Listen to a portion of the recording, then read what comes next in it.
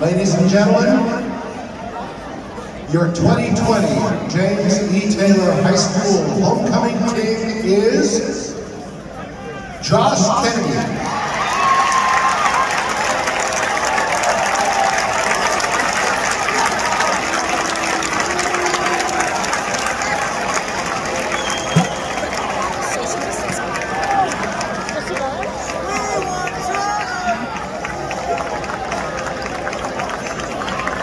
At this time, please welcome Taylor's new head principal, Dr. Melinda Stone, who will present a dozen long-stem red roses to the Queen.